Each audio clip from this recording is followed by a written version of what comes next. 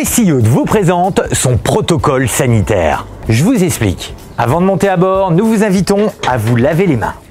Il faut savoir que le Maloya a divisé par deux la capacité de personnes autorisées à monter à bord. À l'intérieur du bateau, le port du masque est obligatoire. Et si vous n'en avez pas, on vous prêtera des visières et une charmante hôtesse vous accompagnera jusqu'à votre place. Le briefing du capitaine avec les recommandations sur le navire et également pour votre protection. Et bien évidemment, chaque gobelet est à usage unique et recyclable. Il faut savoir que le bateau est désinfecté à chaque rotation.